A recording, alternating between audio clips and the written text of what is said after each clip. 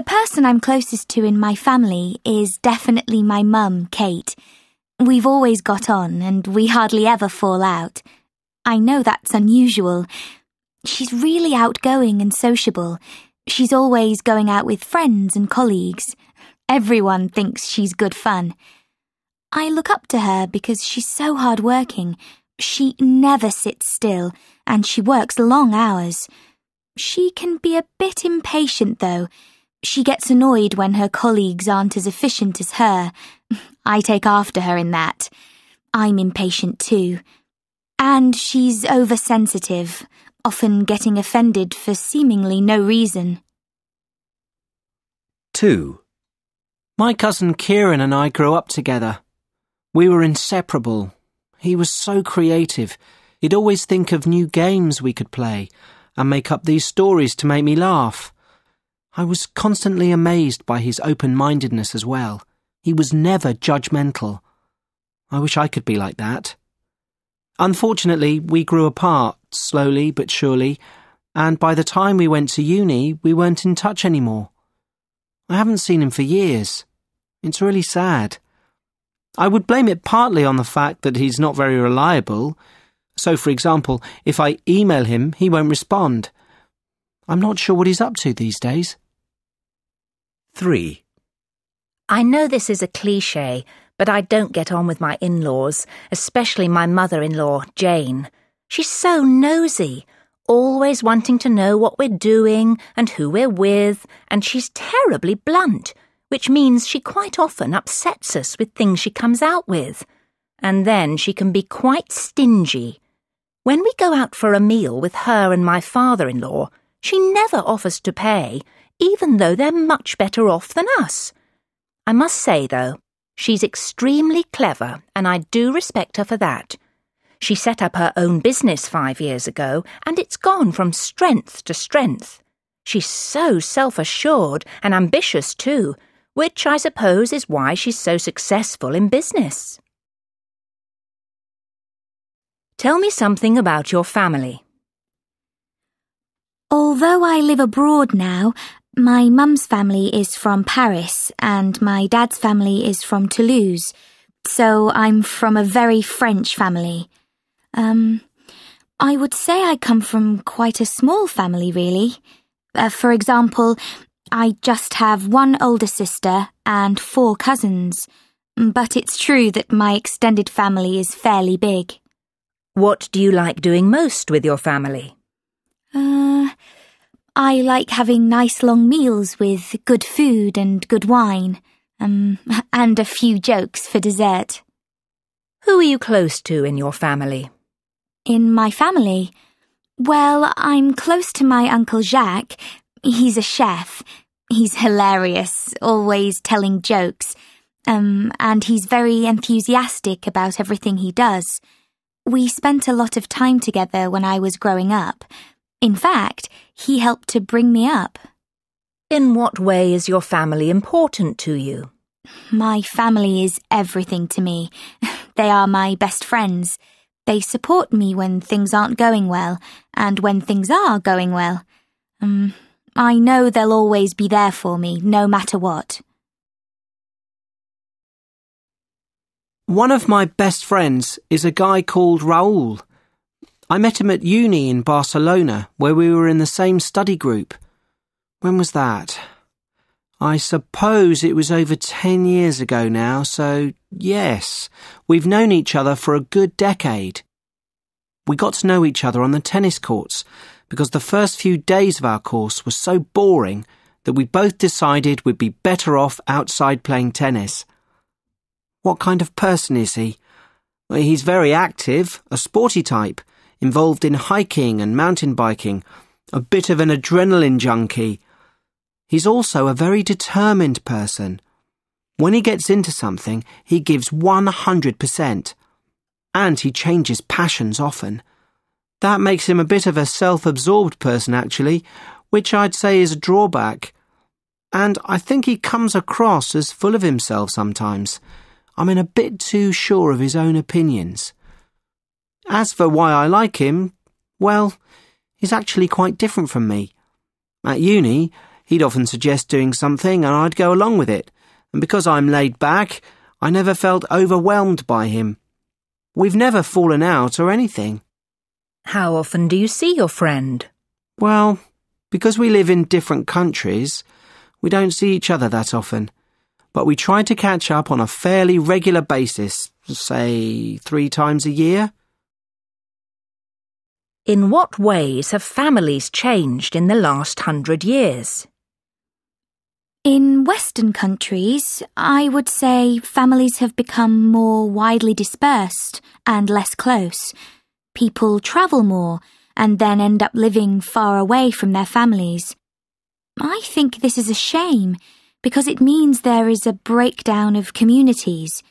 I also think that because families are spread over a wider geographical area, elderly people tend to be forgotten and usually live on their own. Should we rely heavily on our families, or is it better to try to be independent? Hmm, people seem to like living independently from each other these days, but I do wonder if that's the best way. Relying on people is seen as a weakness by some, I think. However, having family nearby is invaluable when you have children, in my opinion. Who else can be called on to babysit at a moment's notice? The elderly are sometimes considered the wisest members of society. What do you think we can learn from them? Oh, an immense amount. They're our living link with the past of a family, a region, a country. They're the keepers of local traditions, for example, and they provide a sense of identity to younger generations. Sample answers. What do you expect from a good friend?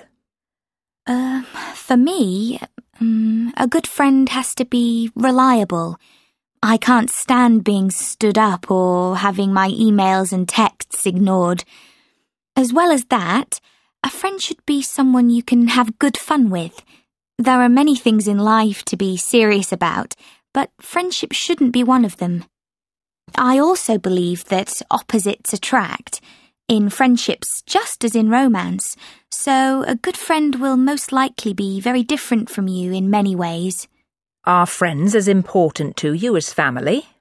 Mm, no, I wouldn't say so. Friends come and go, but family are always there, whether you like it or not. You can even be rude to your family, uh, not that it's advisable, of course, and they will forgive you. But sometimes you've known a friend for so long, they can become like a family member. You can really be yourself with them, and you may even argue quite often, uh, like siblings do. Do you think friendships change as we get older? Well, I definitely find that I have less in common with some friends than I used to. I sometimes wonder what we used to find to talk about. And so you often grow apart from old school friends or old colleagues. Mm, the people I feel I have most in common with are friends I met at university.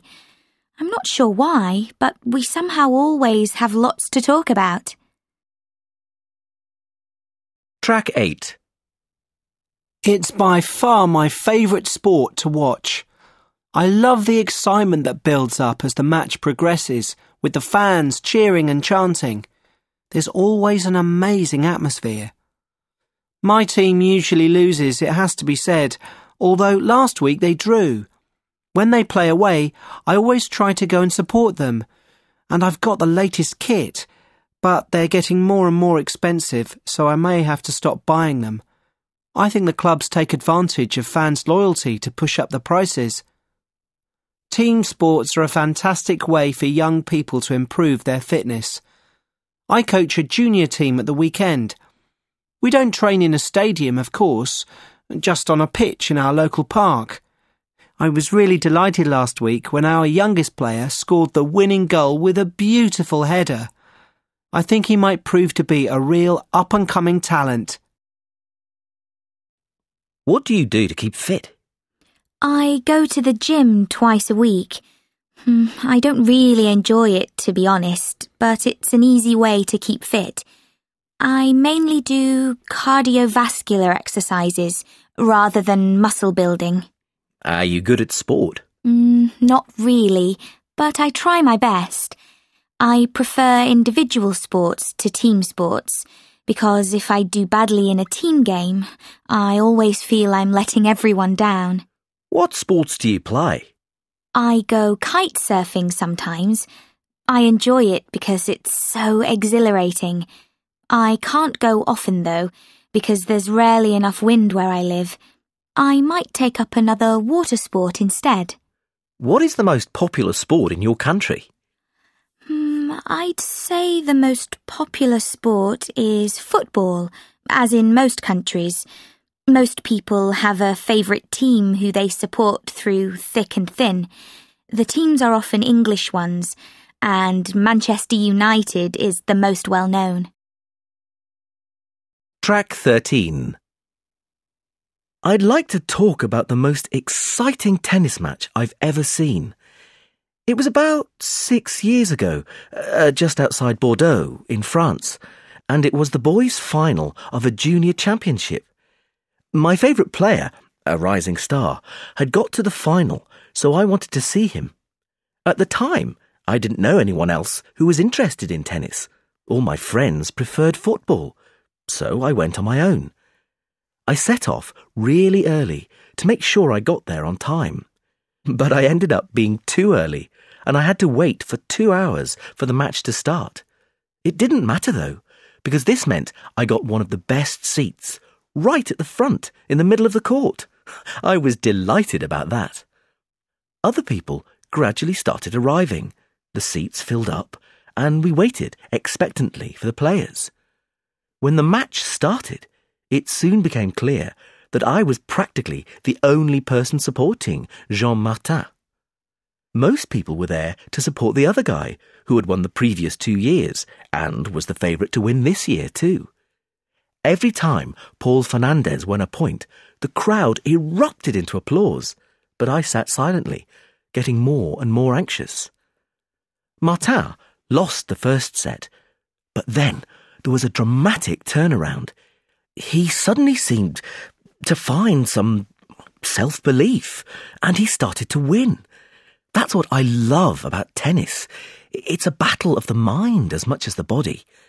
I find it interesting to see how some players may be highly skilled, but don't have the mental strength to win.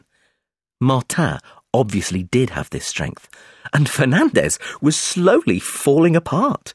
The atmosphere was electric. Martin showed off his amazing skills, hitting ball after ball straight down the line. Martin served for the match. You could have heard a pin drop. When he served an ace, the crowd went wild. Although they had begun by supporting his opponent, they had grown to respect him for his cool head and control of the ball. When he was presented with a trophy, he cried with joy. Do you play tennis yourself? Yes, I'm a keen tennis player. I joined a club about two years ago and play all the time. What are the best ways to keep fit? The best way to keep fit is to do exercise that raises your heart rate. The heart is a muscle and has to be worked like any other muscle. So, golf, in my opinion, is not the best form of exercise. Mm, something like jogging or swimming or surfing is much more beneficial. Do you think most people consider exercise a chore or do they find it fun? Mm, I think most people feel it is something they should do.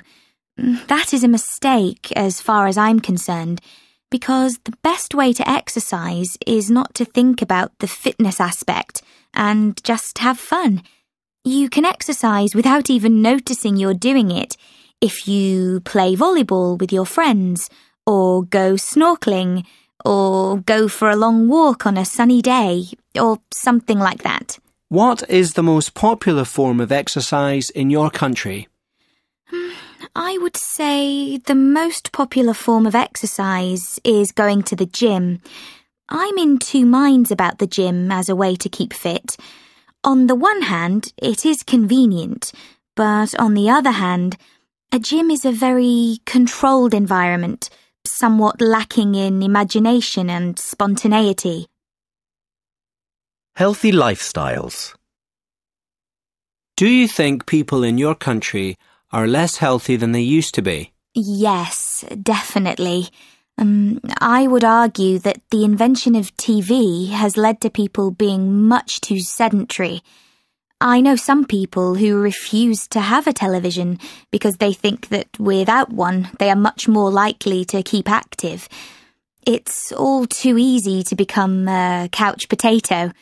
Mm, also, most people work in offices, so they just sit in a chair all day long and only move to go to the photocopier. That's very unhealthy. People used to work the land and so be on the go from morning till night. Mm, obesity was unknown then, uh, except among the super rich, I imagine. How can we encourage young people to stay healthy? Mm, parents should set a good example but I strongly believe that schools have a crucial role to play. Not only can they offer a wide range of sports for children to play, they can teach them about eating a balanced diet and the negative effects of eating junk food and not exercising. If children don't hear all this from home, they have to hear it from somewhere, um, and I would argue that it's the school's responsibility. Once they get a taste for playing sports, they will love the sense of achievement it can give you and the feeling of camaraderie with your teammates. And then hopefully they won't ever want to stop playing sports. Should governments intervene to force people to be healthier? Hmm. I'm highly skeptical of the idea that governments should force their citizens to be healthy. People ought to be encouraged to lead healthy lives, but not forced to. Um, they could, for example, run an ad campaign showing people how to eat a balanced diet. Uh, that you need to eat some carbohydrates, some vegetables and fruit, some meat, and so on. I think most people don't know that, but I'm unconvinced that trying to force people into healthy habits would work uh, because when bullied like that, people tend to resent it and react by sticking even more firmly with their unhealthy lifestyles. Mm. The one area where I strongly believe legislation is necessary is with smoking. Smokers can harm others through passive smoking, so they should not be allowed to smoke in public places. In fact, this has just recently been outlawed in my country. Track 15. My name's Mubarak, and I'm from the United Arab Emirates. My favourite subject at school was maths. I really loved it, I think primarily because I liked being able to use logic to work out answers, rather than having to speculate and theorise, as you often do in art subjects. I went on to study for bachelor's and master's degrees, both in mechanical engineering at Leeds University in England. I chose that subject because, although I was more keen on maths, engineering is more practical. My decision to study in Britain was motivated by the high prestige of British qualifications back in my home country. The tuition fees are very high for foreign students, but my family paid them for me. I found the course very challenging English is, of course, not my mother tongue, so I found some of the lectures and seminars hard to follow. As a result, I failed my first year exams. I had to retake them all, but then, thankfully, I passed. I always did well in my coursework because I could take time to research the topic and check my English. Hmm, my dream job would be to work as a mechanical engineer for the United Arab Emirates Army. The reasons are that such a job carries high prestige, it would be interesting, and there would be good job security. If I got such a job, I would probably have it for life. Do you work or are you a student?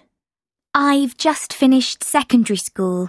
Uh, I got the best results in my year, so I'm hoping to get a scholarship to study English literature. Why did you choose that course? Mm, because I love literature. I love getting lost in a book. I mean, it's a form of escapism for me. But I also enjoy learning about the historical and cultural contexts that influenced a work, and I'll have ample opportunity to learn about these things at university. What was the most difficult thing about your studies? Um, at secondary school, uh, the most difficult subject for me was chemistry. I can't stand science, and I would dread every lesson. I struggled in chemistry lessons and I had to work really hard to pass my exam. Uh, for some reason, I just couldn't remember all those chemical symbols and equations, no matter how long I spent revising. Track 17. My dream job would be to teach children to sail. I have some qualifications, in skippering, for example, but it's very likely I would need more, such as a teaching certificate from the Yachting Association. I have some of the right experience in that I've been sailing a long time.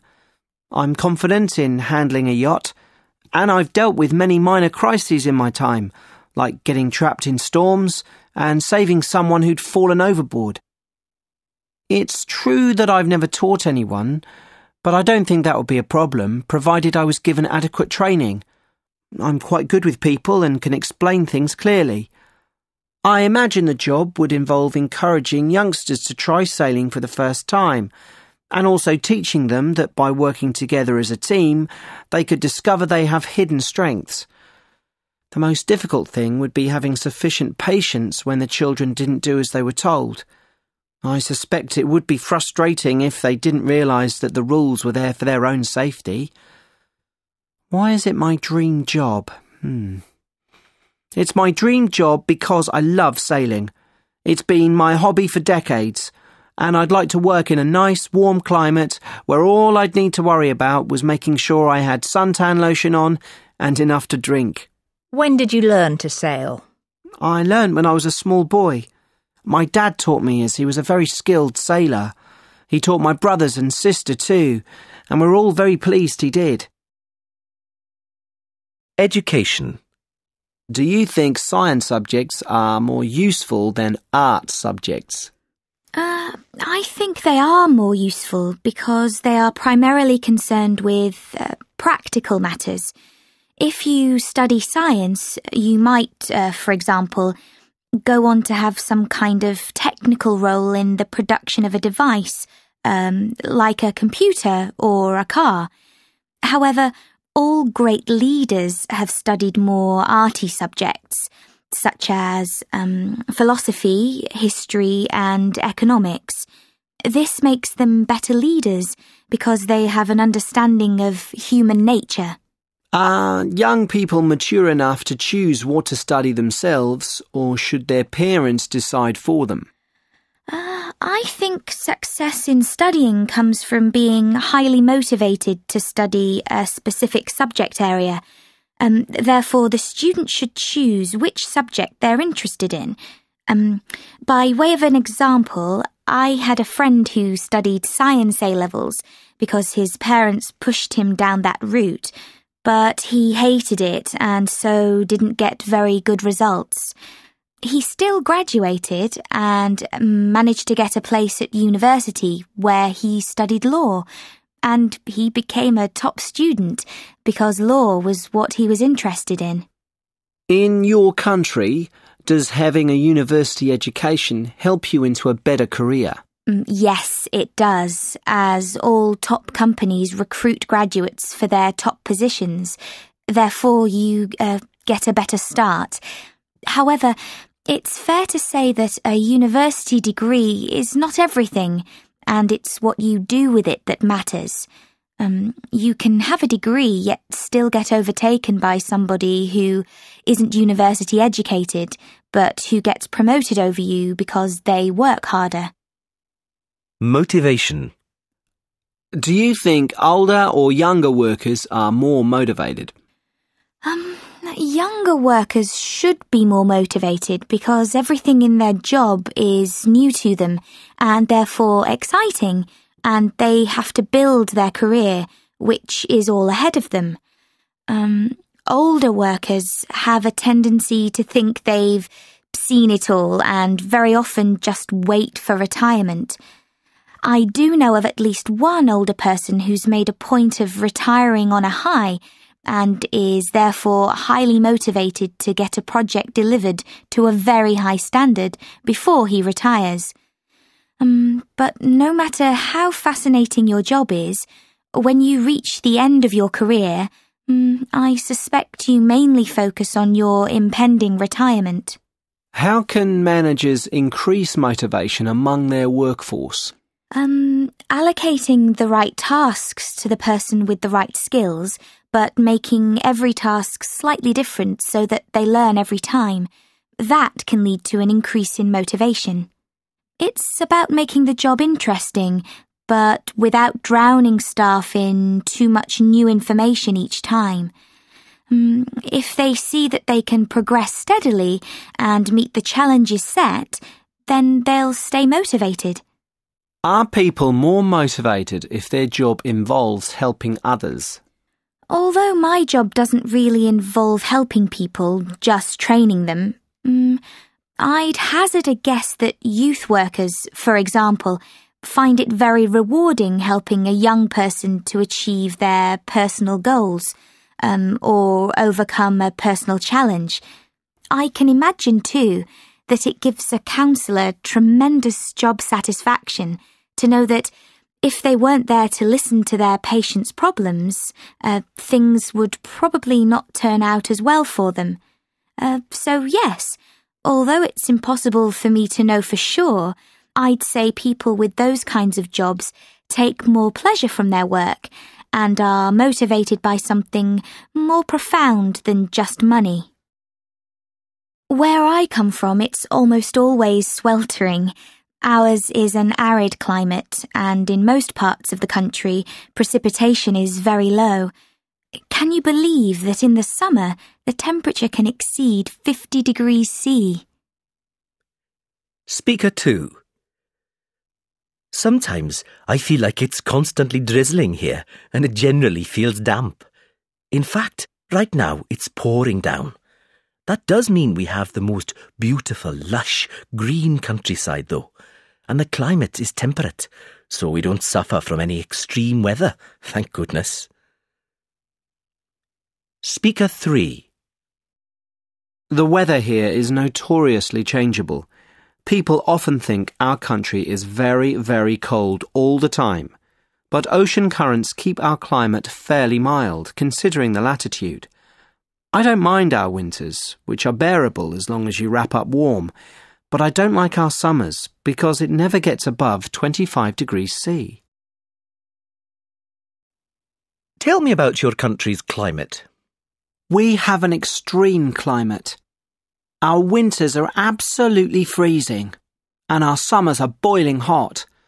That means that the people, the houses, the transport system, everything needs to be prepared to cope with every kind of weather. What's your favourite kind of weather? What I like most is hot, dry weather. I love being able to sit outside on a balmy evening with a drink, rather than cooped up inside like you are in the winter. Does the weather influence your mood? Yes, it certainly does. It's the rain that influences my mood the most. I hate it when it's raining. It makes me feel so down. It's hard to go out without getting soaked to the skin anyway and the sky is so dismal and overcast. It's miserable. Is it worse to feel too hot or too cold? Hmm. Well, I suppose if it's too cold, you can just wear more layers. But nevertheless, I prefer to be too hot. At least it means the weather is good, and you can always go for a swim to cool down. What I really can't stand is being cold and wet. That's the worst combination, and it makes me worry that I'm going to catch a cold. My favourite season is most certainly the summer, which is officially from June to September. I say officially because the reality is that we generally get a very short summer, in that the weather is only really summery for a few weeks a year. The rest of the season merges with the others, being rather cold and rainy. The highest the temperature gets is about 30, and when it gets that high, people start complaining because they're not used to such heat. This irritates me, to be honest, because my view is that we so rarely have hot weather that we should just appreciate it and enjoy it when we do. In this country, and especially in my region, you can't rely on good weather in the summer. I've been to many outdoor events like uh, weddings, concerts, uh, barbecues, and so on, where the organisers were optimistic about the weather, but where it rained non stop. Of course, you can't blame them. If you can't organise an outdoor event in August, when can you? In the summer, I typically go abroad on holiday to places where scorching sunshine is practically guaranteed. This is because I'm a sun worshipper and like to get a good tan. Having sun on my skin makes me feel healthy, though I am fully aware of all the dangers associated with too much exposure to the sun. When I'm at home, I like to have friends over for barbecues, and we stay out in the garden all evening until it gets too chilly, or until it's time for them to go home. The reason summer is my favourite season is that sunshine makes me happy. It's a scientific fact that it releases endorphins. In fact, during the winter, many people in my country use light boxes which recreate the light of the sun. You have to sit and stare into the light, and it is intended to lift your mood. In the summer, though, you don't need such gadgets. You can just go outside, sit in the sun, and get a natural energy boost. It's wonderful. Do you dislike the winter? Mm, no, I don't. All the seasons have something to offer. In the winter, it's nice to snuggle up inside with a mug of hot chocolate. Are people in your country concerned about protecting the environment? To be honest, no. I think the middle and upper classes are more interested in earning as much money as they can in order to buy as much stuff as they can. And there are many people in my country who live below the poverty line, and they quite literally can't afford to worry about the environment when they're struggling to put food on the table and just survive. Does the responsibility for protecting the environment lie with governments or with individuals? Hmm. In my view, the responsibility lies with all of us. However, individuals, at least in my country, aren't taking action of their own accord, and nor are businesses. They're just out to make a profit. Therefore, it falls to governments to force people to be more green. Um, for example, by fining companies that release toxic waste into our rivers, or incentivising us to recycle. Does it help to educate young people on being green? Almost certainly it does because it is the next generation who will have to take on the huge burden of saving the planet. This generation isn't doing enough and is too worried about money. So I pray that the next one will see the urgency of the situation, and the way to get them to see that is to teach them about the repercussions of a polluting lifestyle such as ours. Pollution. What effects does pollution have on the environment? Oh, I hardly know where to start. Pollution in the oceans kills fish and so unbalances the ecosystem. Pollution on land means that whole areas become unfit to live on or to farm. Habitats are destroyed, which leads to the extinction of hundreds of animal and plant species. Do you think we pollute more now than we did 50 years ago? Well, yes, overall.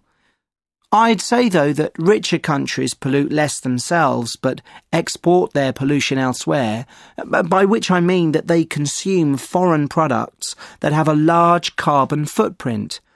Um, it, it has become fashionable to be green in wealthier nations, especially Western ones. So people make an effort to cycle to work and recycle their waste. However, it's quite a shallow attempt at being green, in my opinion, because they still live in big houses using lots of energy and go on holidays abroad, leaving a trail of pollution in their wake. What do you think will happen if we don't reduce current levels of pollution? Hmm. I read an article recently that claimed if we don't change our ways, we will need a second planet to meet our needs as early as 2030. It's frightening to think that we're that greedy, and I'm sure I'm just as guilty as the next person. I do hold out some hope that things will get so bad that we will realise we really must act and we will completely change our destructive habits just in the nick of time. If not, the planet will surely become uninhabitable. My mother tongue is Hungarian. It is spoken in Hungary and it is a minority language in the surrounding countries, especially Romania. It is not part of the same language family as European languages like uh, English, French, German, or Russian. It is a Uralic language, distantly related to Finnish and Estonian. Because Hungarian is not a widely spoken language, if you want to get on, you have to speak a foreign language. Unsurprisingly, uh, the most popular second language among Hungarians is English, the global language. Like most of my friends, I am multilingual. As well as Hungarian, I'm fluent in English and German. I can also get by in Italian, and I did an evening course in Spanish a few years back, but I'm a bit rusty now. I seem to pick up languages quite easily, helped, I'm sure, by the fact that language teaching in Hungary is so good. It has to be, given that no one speaks our language but us. What's your mother tongue? My mother tongue is Portuguese. It's predominantly spoken in Brazil, but also in other parts of the world, such as Portugal and Africa. What other languages do you speak? Although I grew up in Brazil, I can also speak Italian because my mother and one set of grandparents are Italian, and I grew up hearing the language all around me. I'm really proud to be bilingual, and I'd like my children to be bilingual too. What do you think is the best way to keep in touch with friends? It depends how far you are from your friends. If you are geographically close, you should meet up face to face. Long distance communication can cause misunderstandings and resentments to build up. When you write, you only have the words on the page, not body language or tone of voice. Do people keep in touch differently now compared to 50 years ago? Well, of course. People use the internet now and mobile phones. I'm quite young, but even when I was a teenager, nobody in my friendship circle had a mobile. Now it's seen as indispensable, and you would feel left out if you didn't have one. But, as I said before, I think it's better to meet up with friends than to communicate using technology. There's much to be said for communicating in so called old fashioned ways. A language I would like to learn is Spanish. It's used not only in Spain, but also in many other countries. Um, and I believe it's one of the most widely spoken languages in the world. Uh, so it's a language that is definitely worth knowing. It would be useful to me for business purposes. Mm, also, uh, Spanish culture is becoming more and more influential internationally. It is, for example, overtaking English as the most widely spoken language in certain parts of the USA. It is influencing music and art. Uh, so, all in all, I think it's a handy language to know. I doubt it would be too challenging for me to learn Spanish because it is a Latin language, um, just like my mother tongue, French. I think Spanish vocabulary would be easier for me to acquire than Spanish grammar. I understand the grammar is one of the most difficult things about the Spanish language. I would use Spanish primarily when going on holiday. I've been to Spain many times, um, and I always find that if you go off the beaten track, it's difficult to find people who speak English. You get very good at speaking with your hands, um, and it's difficult to really engage with people and understand the culture if you don't speak the language. Uh, speaking Spanish would undoubtedly make my holidays a lot easier and uh, more enjoyable. On top of that, um, the company I work for has an office in Madrid, and it would also be very interesting to be able to work there. I would enjoy the challenge and the exposure to a new culture. It would be such an exciting opportunity. Um, to make the move, though, uh, I'd obviously need to be able to speak Spanish. Uh, luckily, my company would most likely sponsor me to have Spanish lessons. Where have you been in Spain? Um, I've been to Spain many times, and um, each time I did a road trip. Uh, one trip was in the north of Spain, um, travelling from France across the Pyrenees, through the Basque country, and all the way down to Madrid. Is it considered important in your country to learn foreign languages? More than just important, it's considered essential. The English poet John Donne said, No man is an island. And I think in this day and age, that is also true of countries. We are all intricately connected. Um, a country that wants to do business abroad and uh, export its goods has to know how to communicate with foreigners, and that means speaking foreign languages. What, in your opinion, is the best way to learn a language? Undoubtedly, the best way is to go and live in a country where the language is spoken as a native language. But that is not enough. Um, I have friends who have done just that, but they stuck together with people who spoke their language, and so they hardly learnt anything. Mm, you have to immerse yourself completely in the language and the culture. This takes courage, but is well worth the effort. Uh, one of my friends went to study in England and got an English boyfriend. Her English improved dramatically in just a few months. So, arguably, that's the best way. Why are some people seemingly better at learning languages than others? Mm, it's true that some people seem to pick up language really easily. Being bilingual from a young age certainly helps, because the more languages you speak, the more easily you acquire a new one. Another major factor is motivation. Uh, two people can study the same materials for the same number of hours, but the person who is more motivated will learn more and remember better what they learned. I really believe that the more you care about learning a language, the more effortlessly you will pick it up. How do people in your country feel about English being the world language? Hmm, I don't think most people feel anything exactly. They just see it as something inevitable. They don't fight it because um, that would just leave them trailing behind other countries that embrace English as the global lingua franca. Not learning English would leave us economically disadvantaged. Do you think the culture of English speaking countries, as well as the English language, dominate the world? Hmm.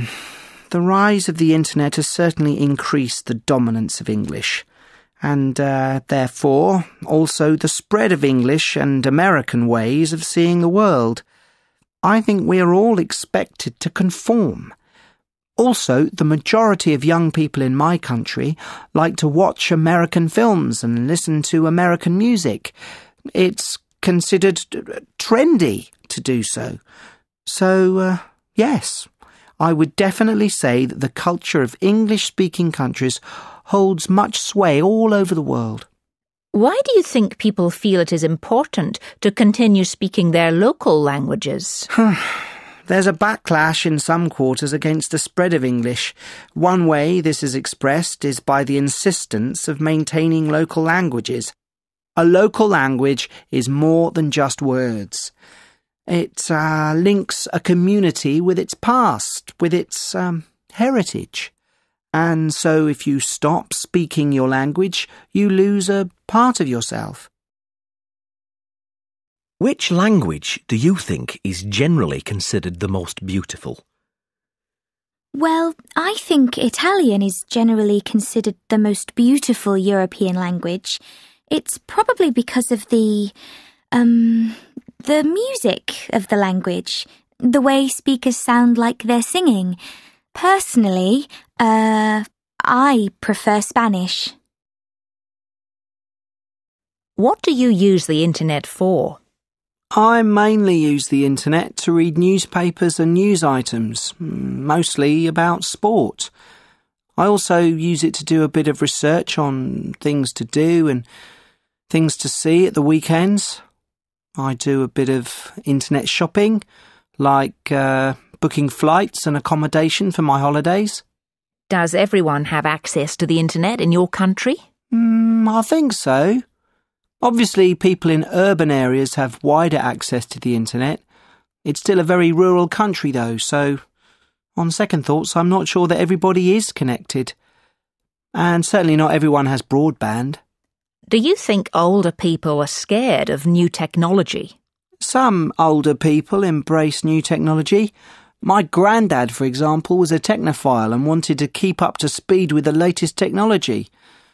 However, I would say that most older people don't bother learning about new technology simply because they can't see what it would bring to their lives. Do you think young children should have mobile phones? Hmm. I can't see that young children have much use for mobile phones. At least in terms of using the phone as a phone. They might find it interesting to have a device to listen to music and take photos.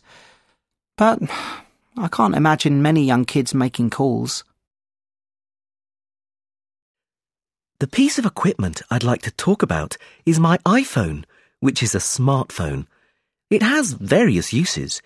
It functions as a normal phone, so you can make calls and text people. But, more unusually for a phone, you can also surf the internet and send emails. It also acts as a camera, though, admittedly, not a very good one. You can buy applications from an online store, which allow you to find your way, play games, uh, read ebooks, and much more besides. New applications are being added all the time and some of them are really crazy, like one that lets you record your voice and then it plays it back to you, but making you sound like an alien. And last but not least, you can listen to your music and watch videos. It was a present from my parents. I'd been pestering them for months to get me one, and at last they gave in when it came round to my birthday. I think they bought it online, as it was cheaper that way. I was the first of my friends to get one, and I think they were all really envious. It is the latest must have. People love it because it is so beautifully made, so intuitive, so robust, and so clever. It is because it is so many things rolled into one that it is so useful.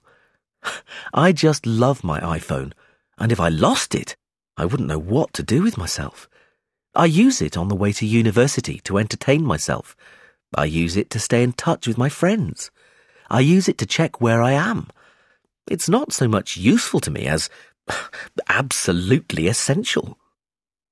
What piece of electronic equipment would you not miss? Hmm, that's a difficult question because I love gadgets and all things technological. Hmm, if I had to choose something, I'd say kitchen gadgets. What have been the most significant technological developments of recent years? Uh, undoubtedly, one's connected with the internet.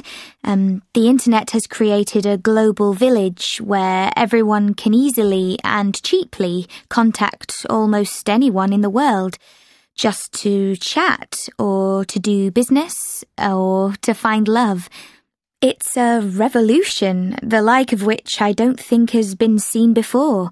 Um, we have the internet at home through our personal computers, but also on the move through the use of smartphones and laptops. Um, so wherever we are, we have access to almost limitless sources of knowledge. In what ways have these developments changed society for the better and for the worse?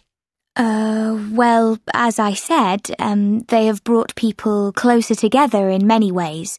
However, there are disadvantages. First of all, some people believe everything they read online, which is dangerous. Um, then many people spend too much time sitting in front of their computers rather than going out and socializing. Uh, so they put on weight, um, they don't develop and maintain friendship circles. Last but not least, it can cut dead debate. When I'm in the pub with my friends, we no longer have a friendly, informal debate about which band has sold the most albums. We just check our smartphones and find the answer in a few seconds, and then have nothing left to say to each other. Are people in your country nostalgic about life before technology? Um, yes, I think so.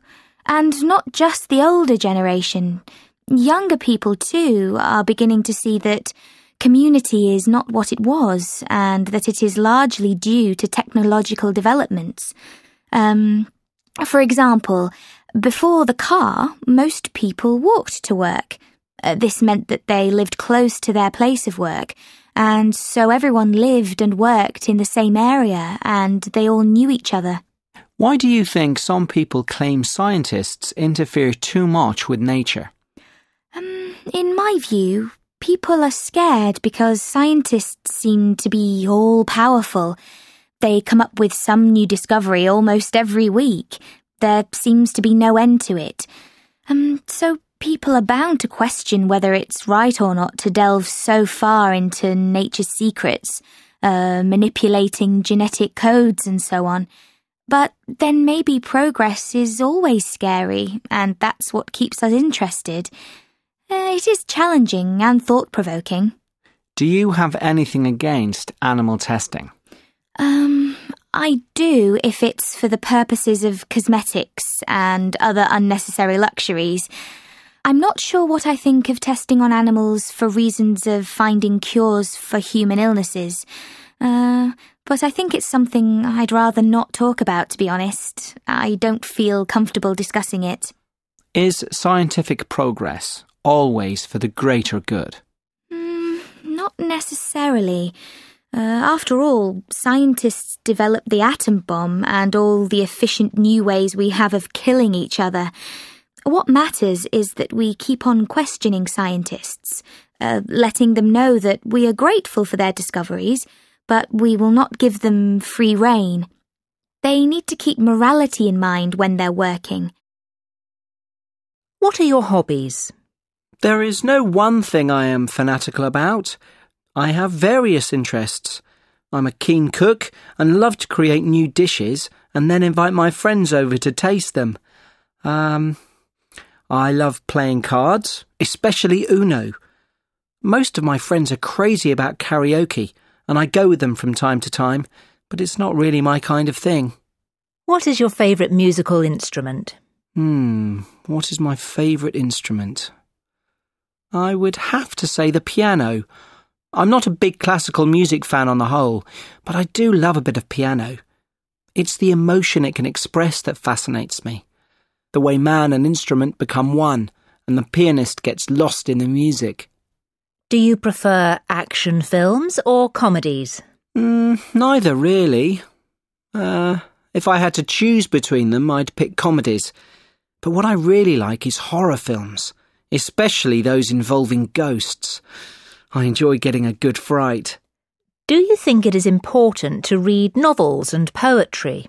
Well, my teachers always told me it is. But reading, I can take it or leave it. I can't remember the last time I picked up a real page turner. I don't think it's important to read. You can be entertained by films, and you can be educated via the television, watching documentaries and so on. So, uh, I don't feel I'm missing out on anything. One of my favourite hobbies is going shopping. I've always loved it. I think I get it from my mum, uh, who used to take me to the nearest town every weekend to visit shops and boutiques.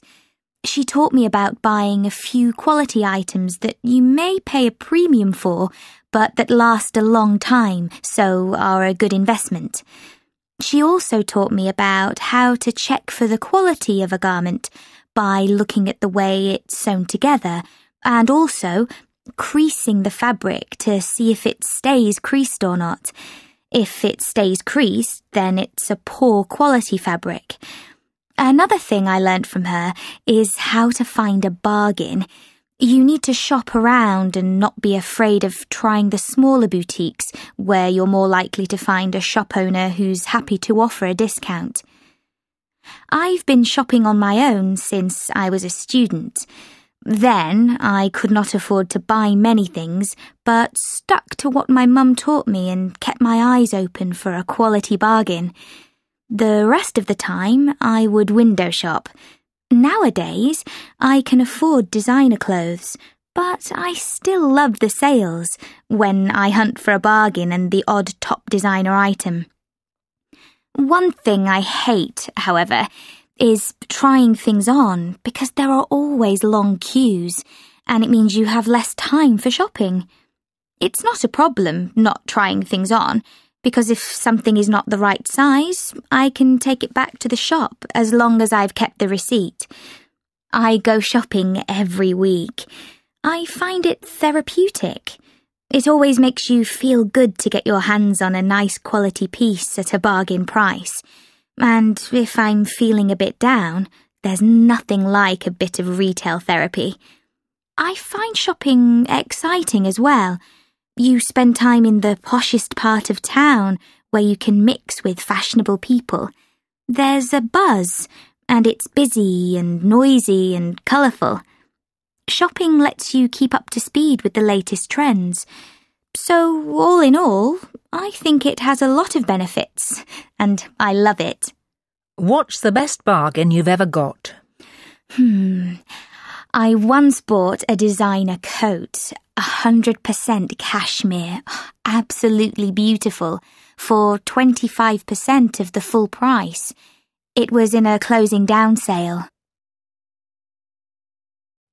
Do you think men and women tend to have different types of hobbies? Um, yes, I do. The men I know have sports as hobbies. The women usually enjoy more sedentary and peaceful hobbies like um, reading or crafts. Having said that, there are, of course, women who love exhilarating hobbies or are fanatical about cycling or something. Mm, and there are men who take up pottery or sewing. There are always exceptions to every rule. Why do some people get obsessed with their hobby?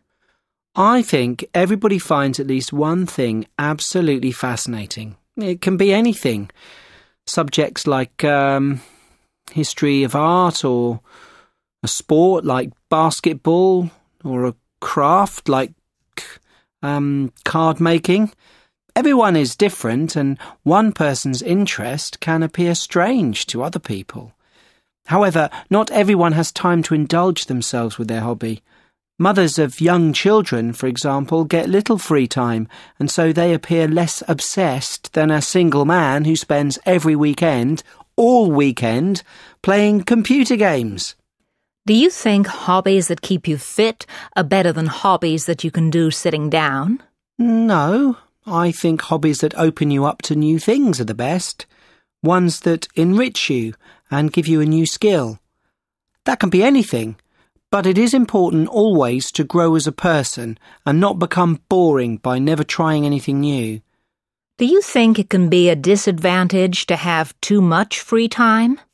well, they say that the devil makes work for idle hands, and I think it's true that the less you have to do, the less active you become, and the more time you waste. People who have too much time to spare tend to become lazy and, and lethargic. People who are always on the go, on the other hand, think nothing of fitting one more thing into their busy schedules. Should people feel a duty to do something constructive in their free time? No, not necessarily. Everyone deserves some downtime. Modern life is stressful and hectic, and so we need times when we let go of our responsibilities and just do something fun. We can still draw benefits from hobbies that are not generally considered constructive. Um, for example, we can develop our abilities to work in teams by doing team sports, and we can increase our attention spans by um, reading a novel with long chapters. Do people have more free time now than in the past? It's a strange irony that although we now have so many labour saving devices such as washing machines and um, dishwashers, we feel we have less free time. Many of my acquaintances are always complaining that they are too busy. But actually, I think our ancestors had less free time than us. The average worker hardly ever got any time off and worked six or seven days a week. When I hear music from the 70s, it really takes me back. It makes me feel like I'm a teenager again. The memories are so vivid. So many things from that period of my life left a lasting impression on me, like meeting my first girlfriend and sitting my A levels in sweltering heat. It's still fresh in my mind. 2. I can barely remember what I did yesterday, let alone events from my childhood. Well, having said that, I have some vague memories. I remember a teacher I really liked called, um, oh, that the name escapes me. Uh, but she was so brilliant at explaining things and was really kind when my brother was taken ill. Oh, what was her name? It's on the tip of my tongue. Anyway, as I said, I have a bad memory. 3. I often reminisce about the good old days. You have to be careful, though, because it's easy to get sentimental and see everything through rose tinted glasses. Things weren't perfect back then, but you often only remember the good times. I love looking at old photos. They remind me of people I'd long forgotten about, and then it all comes flooding back, like my old friend Alice, who passed away ten years ago. Can it really be that long? Doesn't time fly? What is your most vivid childhood memory? Without a doubt, it's getting my two pet tortoises for my sixth birthday. It was such a surprise, and I was so pleased because none of my friends had such unusual pets. They were tiny. They could both sit in the palm of my hand, and I really enjoy looking after them. Are you still in touch with your childhood friends? Mm, some of them, yes. We've all moved on and have very different lives now, but it's nice to catch up from time to time and reminisce. You may have more in common with more recent friends, uh, but childhood friends feel almost like brothers and sisters, and there's something very special about that relationship. What was your favourite toy when you were a child? Mm, I always liked toys other children had. For example, um, a toy car garage with various levels and ramps. that was great fun. My best friend had it, and whenever I went over to his house, I would ask to play with it. Uh, sometimes he didn't want to, so I played with it on my own. I loved making the cars whiz around the tracks and crash into each other. Is it important for children to have fun? Um, it is important because I believe children learn a lot through play. Mm, they learn about the world around them. They learn how to interact with other people. They learn about possible dangers through acting them out. Children shouldn't be made to grow up too fast. They should be allowed to experience the world of make believe first. They spend long enough in the real world as adults. I grew up very far from most of my family, so I only saw them once a year. Every summer, I would go to stay with them while my parents continued working. Although I missed my parents, I used to really enjoy spending time with my grandparents, uh, cousins, aunts, and uncles. I spent all summer there, nearly two whole months, so from time to time, my cousins and I would get bored. We would ask my grandparents if they had any ideas for interesting things we could do. Sometimes they suggested uh, going for a bike ride, sometimes into town to do some shopping. At other times, they showed us a new game to play. then we were happy again. One day, hmm, must be about 25 years ago, doesn't time fly, all of us got really, really bored and we kept complaining to my grandparents. They were tearing their hair out, trying to think up ideas of where we could go and what we could do. Suddenly, my granddad came up with the idea of going to a new water park that had opened that summer. I hadn't heard about it, but my cousins had, and they told me all about it. It was a park with uh, vast numbers of different pools, uh, some inside, some outside. There were water slides as well. And uh, on top of that, there was not one, but two playgrounds with swings, uh, a merry-go-round, and um, seesaws. we were so excited. We set off, and on the way, we were all singing songs and laughing. We couldn't wait to get there. When we arrived, my cousins and I ran into the park and changed into our swimming costumes. Then we went looking for the most exciting looking pool, and we found it one with brightly coloured tiles and slides. We jumped straight in. We played all day in the park and had a lovely lunch, sat on some benches in the sunshine. my grandad loved a pool that was filled with spa water. It was dark brown and stank of rotten eggs. I didn't want to go in, but he eventually convinced me. I'm pleased he did, because the water was really warm. I'd never swam in water that warm. I didn't want to get out, despite the terrible smell. I consider it such a happy memory because we enjoyed ourselves so much, and I remember so vividly how I felt that day. But there's more to it than just that. When I look back now, I understand how caring my grandparents were and oh, how much they wanted us all to be happy. They would have done anything to help us have a good time. I appreciate that more now that I'm older and have children of my own. I hope we thanked them. I can't remember. But anyway, they were content, I'm sure, to just watch us having an amazing time playing and laughing in the water. So, as you can see, it was a wonderful day and is one of my favourite childhood memories.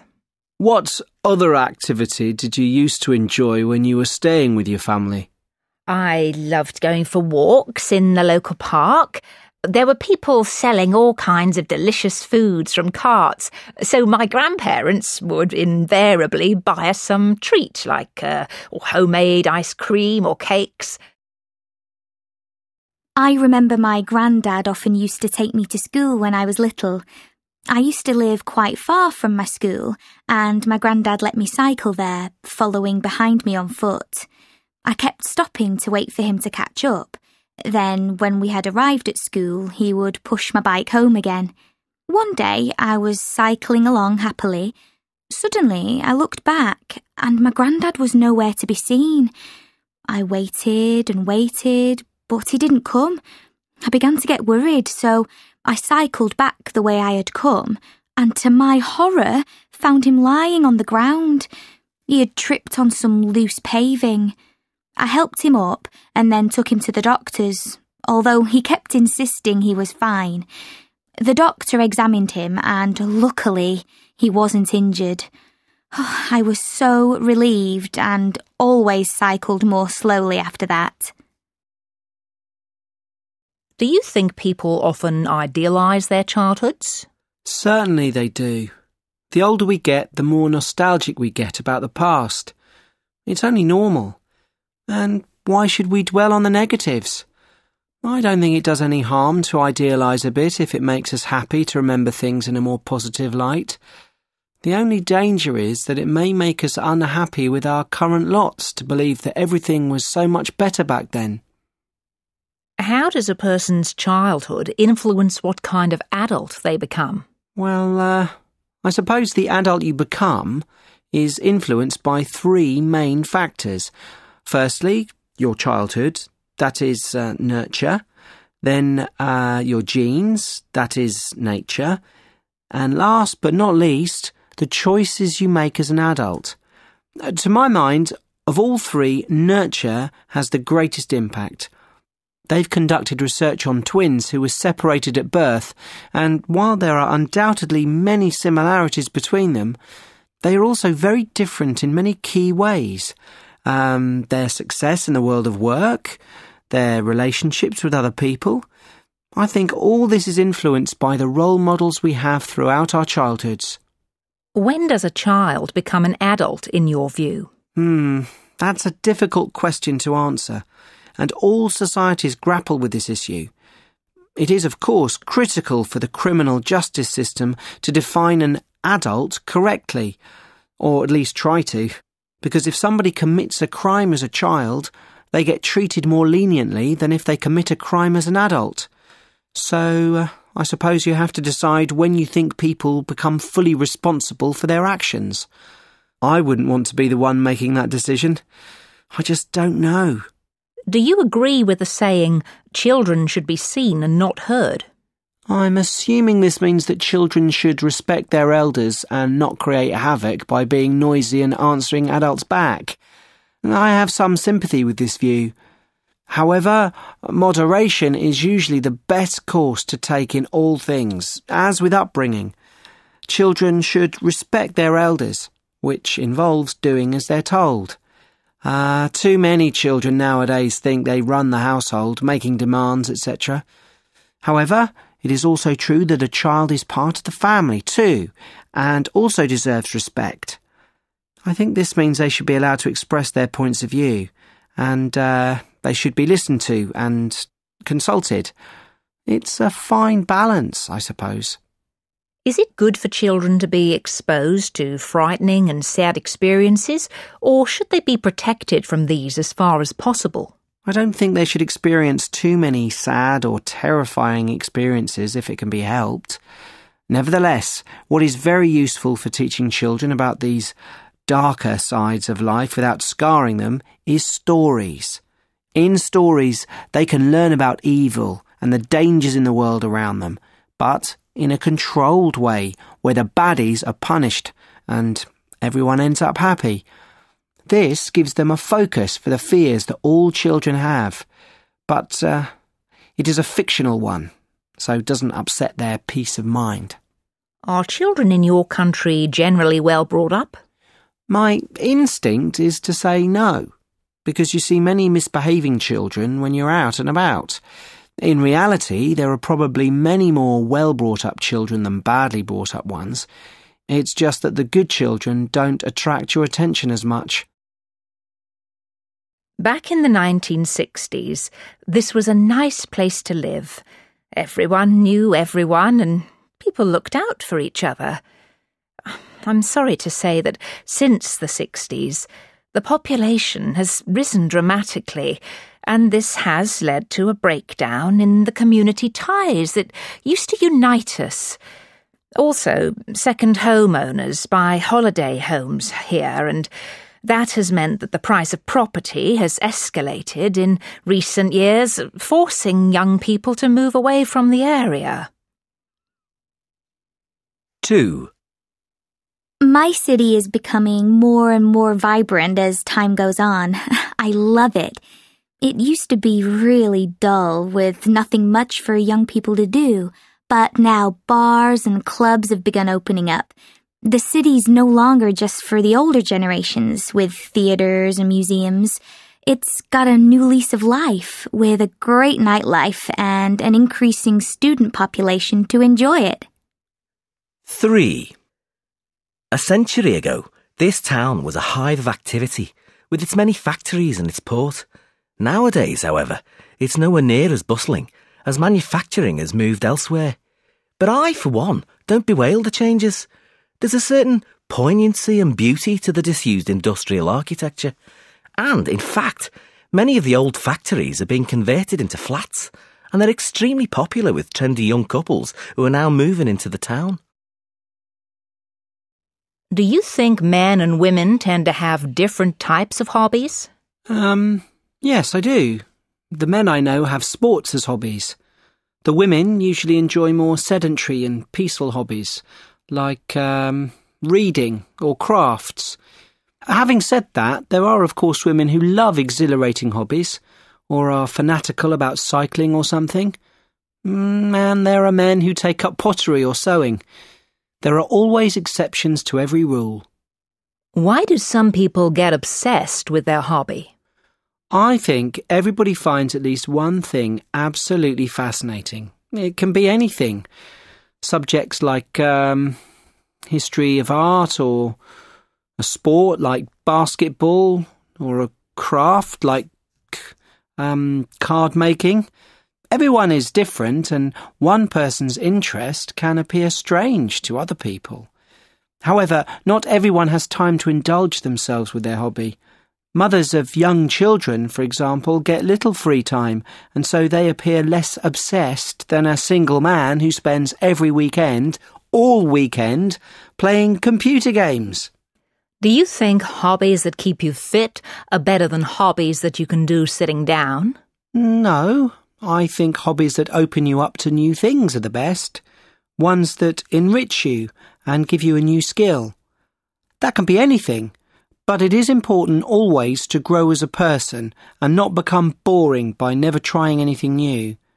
Do you think it can be a disadvantage to have too much free time? well, they say that the devil makes work for idle hands, and I think it's true that the less you have to do, the less active you become, and the more time you waste. People who have too much time to spare tend to become lazy and, and lethargic. People who are always on the go, on the other hand, think nothing of fitting one more thing into their busy schedules. Should people feel a duty to do something constructive in their free time? No, not necessarily. Everyone deserves some downtime. Modern life is stressful and hectic, and so we need times when we let go of our responsibilities and just do something fun. We can still draw benefits from hobbies that are not generally considered constructive.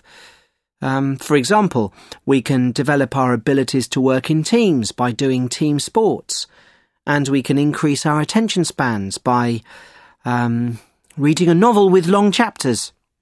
Do people have more free time now than in the past? It's a strange irony that although we now have so many labour saving devices such as washing machines and um, dishwashers, we feel we have less free time. Many of my acquaintances are always complaining that they are too busy. But actually, I think our ancestors had less free time than us. The average worker hardly ever got any time off and worked six or seven days a week. Are historical sites in your country popular with visitors? They seem to be very popular, yes. Um, the last time I went to visit a historical site myself, I was struck by the number of families there with young children. I don't think these sites are popular with young couples necessarily, but it looks to me as though when those couples have children, they suddenly develop a new appreciation for those places.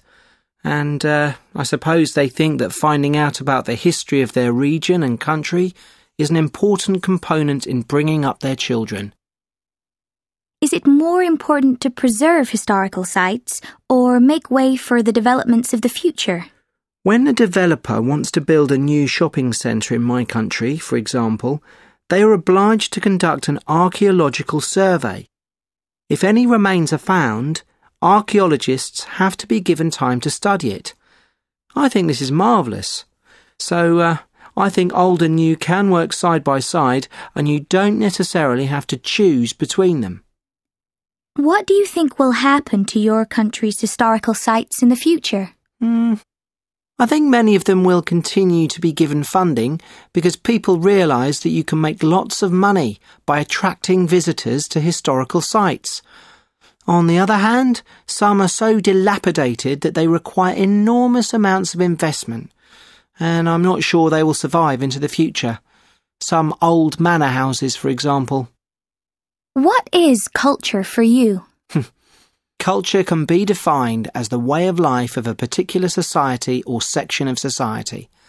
It involves their customs and traditions, and so in some senses, culture is what distinguishes us from others, what makes us unique. I think culture is also what connects us to our past, to our heritage. Um, we mustn't forget modern culture either, though. Youth culture is often very vibrant and powerful with its new and inventive forms of music, dress, and art. Do you think that it is important for a society or culture to have a sense of continuity with the past? Yes, definitely. Change is necessary, but it is also frightening. For this reason, people continue to rely on their traditions to give them a sense of their roots and to remind them of where they've come from. Commemorating the past is also a way of bringing people together, uh, such as during Independence Day. How will your country's culture have changed in 50 years' time? Hmm, we are becoming more and more multicultural, so I'm not sure that all of our traditions will survive in their current form. For example, can we continue to regard Christmas as our major annual celebration if perhaps half of the country does not have Christianity as its religion. It would be a shame to lose our traditions. However, if that is indeed the case, something new will, I'm sure, have replaced them in 50 years' time. And maybe it is better to develop new customs and celebrations that more accurately reflect modern society. Is your country popular with tourists? Oh, yes, it is. It's a key tourist destination. It isn't popular with sun seekers because, well, we don't get a lot of sun. Uh, but people who are into culture and history love it.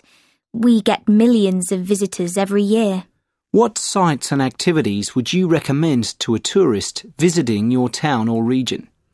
Uh, there are a great number of ancient sites near here. Uh, for example, burial mounds and stone circles. They're fascinating, and I wouldn't hesitate to recommend them to anyone. Luckily, it's actually better if the weather is misty or dismal when you're visiting those sites, because it just adds to the atmosphere. Do you enjoy active holidays? Yes, I certainly do. I hate just sitting on a beach. I love hiking. Uh, last year, I went hiking in Nepal with some friends. It was incredibly tough, but really rewarding, and I got very fit and trim. We want to do something similar next year, if we can save enough money. Tell me what your ideal holiday would be. Hmm, my ideal holidays are when I discover new things. So I wouldn't say I have one ideal holiday in mind. Um, but it's true that I would love to go to South America, uh, especially Peru. I believe it's great for hikers, and the landscape just looks breathtaking. I speak some Spanish too, so I could communicate with the locals. I'd like to tell you about the time I went backpacking around Spain. I can't quite believe it, but it was over a decade ago now. Two friends and I got very good value rail passes and travelled around Spain for three months. It was an unforgettable experience. We uh, started off in Madrid because that's where we landed. We did some sightseeing. We especially loved the parks and we ate and drank lots. Our um, favourite thing was, of course, the delicious ham. We liked the nightlife in Madrid too, not least eating out. It was a real experience. The locals don't go out to dinner until really late, often as late as 11 pm, I suppose because it's so hot. So if you turn up at a restaurant at what would be a normal time where we come from, the place is either closed or completely empty. We then journeyed on to Santiago de Compostela in the northwest, which was fabulous. And my friend is really into art, so we had to visit the Guggenheim Museum in Bilbao in the north. The weather was dreadful while we were there, so we didn't get the best impression, but even so, we enjoyed it. More people should visit that part of Spain. Then we moved on to um, Barcelona, Madrid's rival city. We fell in love with it. It's so different to Madrid, um, more bohemian in feel and more multicultural. The Gaudi architecture is so wonderfully wacky, looking half the time like oh, it's fallen off the page of a fairy tale. We were quite sorry to leave Barcelona. After that, we saw Valencia, but not for long, unfortunately, and then we went on to Granada. what a beautiful, beautiful place. There is nothing quite like the Moorish palace, the Alhambra, lit up at night. The image has stayed with me. We had wanted to visit Seville and the Extremadura region of the country, but we'd run out of money by then, so sadly we had to leave. It was a memorable holiday because I was with two good friends experiencing all these amazing cities. I don't think I could do it now because travelling so much in a relatively short time is tiring. But we were young and carefree and so took it in our stride. It was the holiday of a lifetime. Why did you choose to go to Spain? Well, um, one of my friends spoke Spanish really well, so it seemed the obvious choice. I don't like going to a country without speaking any of the language, and my friend taught us both Spanish as we travelled round the country, so by the end we could order our food ourselves and talk to people, albeit not on any complex subjects. Do you think it's true that travel broadens the mind? I do, yes. I wouldn't want to disparage people who haven't travelled, because that is almost invariably due to a lack of opportunity. I doubt any of my great grandparents' generation ever travelled anywhere. But I can't help but think that it does make you a, more open minded person as you see different ways of living, eating, drinking, interacting with others, and it allows you to see your own culture more objectively. It also leads to you having a wider range of experiences and makes you more interesting to talk to. Do young people and older people benefit differently from travelling? I think younger people tend to enjoy adventure and having fun, and older people value relaxation more because they have so many responsibilities at home that what they want more than anything is to switch off when they go away. Uh, of course, that's a generalization and only takes you so far. I know it's true of me, though. How can you make sure you get the most from your travels? I've always thought learning something of the language of the country you're going to is the best possible way of benefiting fully from your holiday. That way, the local population aren't so likely to see you as an outsider but rather as someone who has made the effort of learning some words and expressions, and so has an interest in their culture. What are the positive impacts of tourism? They're manifold. Tourism brings investment and better infrastructure to poorer communities. This means that tourists find it easier to get around but it also leads to an improved quality of life for the local people. It also brings about greater work opportunities for the local community. Previously, for example, they may just have had fishing or farming, but tourism opens up the possibility of higher earning jobs. What about the negative impacts of tourism? Well, I've seen areas where large numbers of visitors have had a detrimental effect on local habitats. Uh, for example, coral reefs in the Caribbean. It's really tragic. The best solution, as far as the wildlife is concerned, would be to ban tourism for a few decades to let the reefs recover. But, of course, the local economy has come to rely on tourism, and there would be an uproar if the government were to take that drastic step. How has tourism impacted tourist sites in your country? I think because my country is not a big tourist destination yet, the small number of visitors we get have had only a positive effect. For example, small souvenir shops now have a larger clientele because of the visitors coming to see our temples. Hello, my name is Pauline Jenkins. Uh, could you tell me your full name, please? Thank you. Can you show me your identification, please? All right, that's fine. I'd now like to ask you some questions about yourself. Tell me about where you live. What are the advantages of living there? What are the disadvantages of living there? We're now going to talk about animals. What is your favourite animal? Why do you think some people like keeping pets?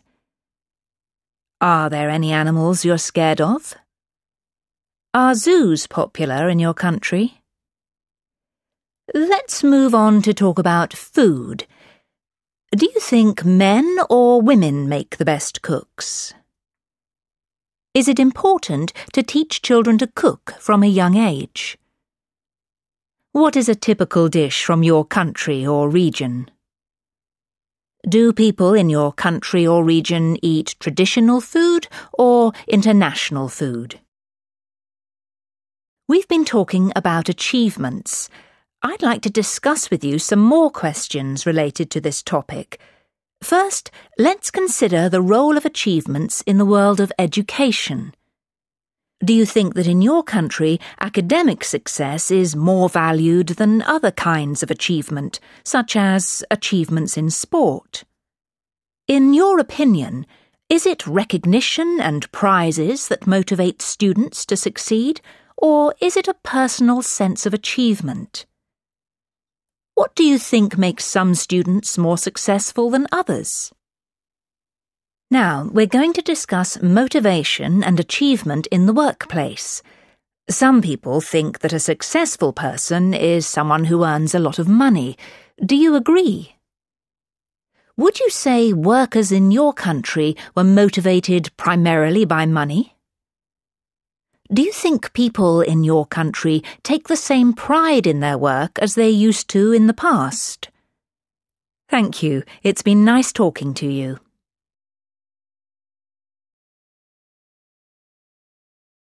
Hello, my name is Pauline Jenkins. Could you tell me your full name, please?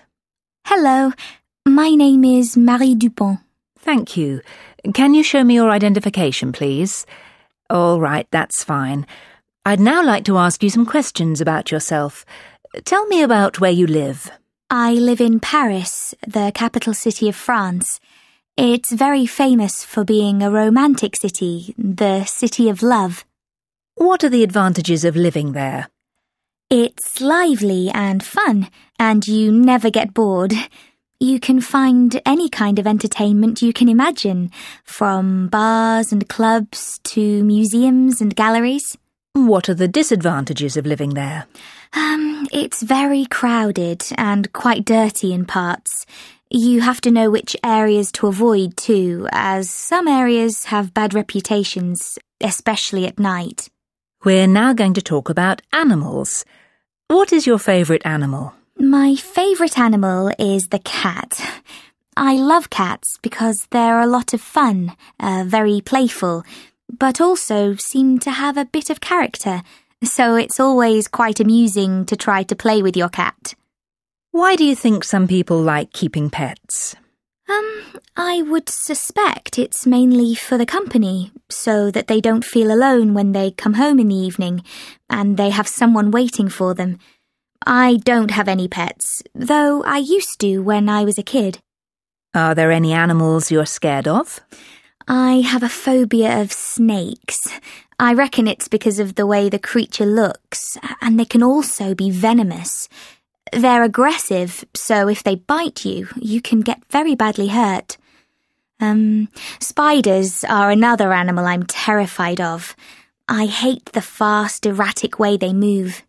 Are zoos popular in your country? Um, yes, they are, especially with kids. Kids love discovering new things, including new animals, um, and a zoo is the best place to do that. They can observe a wide range of animals in a safe environment. Let's move on to talk about food. Do you think men or women make the best cooks? Mm, it doesn't depend on the sex of the person, but on their enthusiasm. The men in my family are really good cooks, and they enjoy talking about food as well as cooking and eating it. Is it important to teach children to cook from a young age? The younger the better. Of course, you wouldn't give a young child a knife, but they can mix ingredients together and things like that. The younger they start, the better cooks they'll be when they grow up.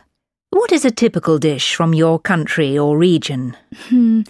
Lots of people think we eat frog's legs all the time. It's a kind of national stereotype.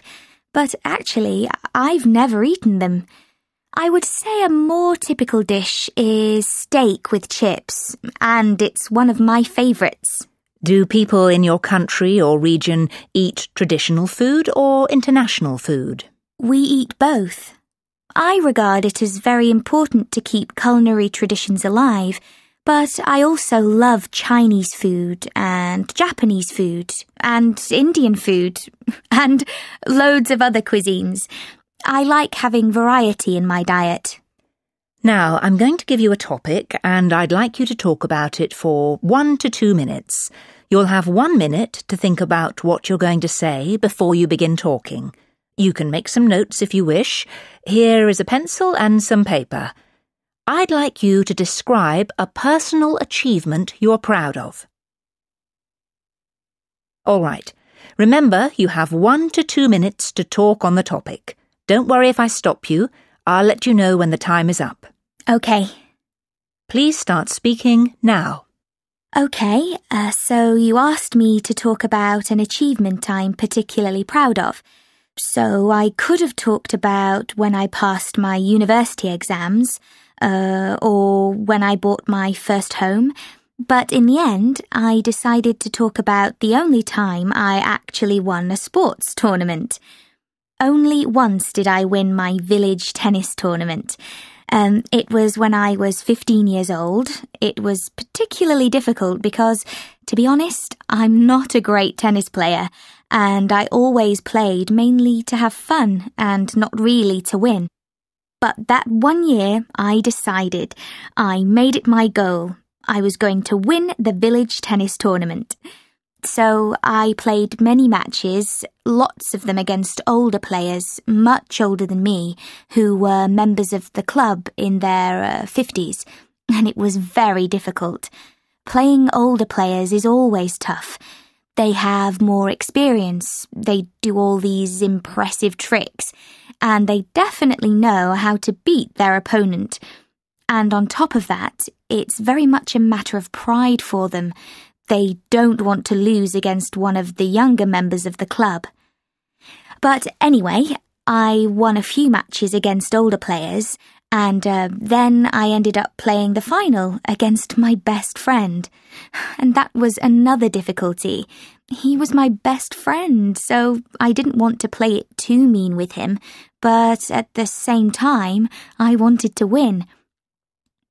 At least the fact that he was my best friend meant that I knew exactly how to beat him, though, because I had played against him many times before. Um, we had a very long game, and it was nerve wracking. It wasn't very good tennis, but in the end, I won.